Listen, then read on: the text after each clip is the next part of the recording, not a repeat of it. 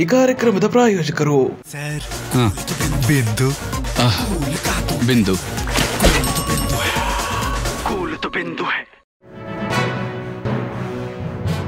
ಚಿಂತಾಮಣಿ ತಾಲೂಕಿನ ಸೋಲದೇವನಹಳ್ಳಿ ಗ್ರಾಮದ ಮನೆಯೊಂದರ ಮೇಲೆ ಗ್ರಾಮಾಂತರ ಠಾಣೆಯ ಪೊಲೀಸರು ದಾಳಿ ಮಾಡಿ ಹುಲಿ ಉಗುರಿನ ವಶಪಡಿಸಿಕೊಂಡಿದ್ದಾರೆ. ಖಚಿತ ಮಾಹಿತಿಯ ಮೇರೆಗೆ ನವೀನ್ ಎಂಬುವರ ಮನೆ ಮೇಲೆ ದಾಳಿ ನಡೆಸಿದ್ದಾರೆ. ದಾಳಿ ವೇಳೆ ಮನೆಯ ಮೇಲಿನ ಕೊಠಡಿಯಲ್ಲಿ ಹುಲಿ, ಉಗುರು, ಮಾದರಿಯ ವಸ್ತು ಪತ್ತೆಯಾಗಿದೆ. ಪತ್ತೆಯಾದ ವಸ್ತುವನ್ನ ಪೊಲೀಸ್ ಅರಣ್ಯಾಧಿಕಾರಿಗಳ ವಶಕ್ಕೆ ನೀಡಿದ್ದಾರೆ. ಚಿಂತಾಮಣಿ ವಲಯ ಅರಣ್ಯಾಧಿಕಾರಿ ಚಂದನ್ ಈಗ ಪ್ರಕರಣ ದಾಖಲಿಸಲು ಮುಂದಾಗಿದ್ದಾರೆ.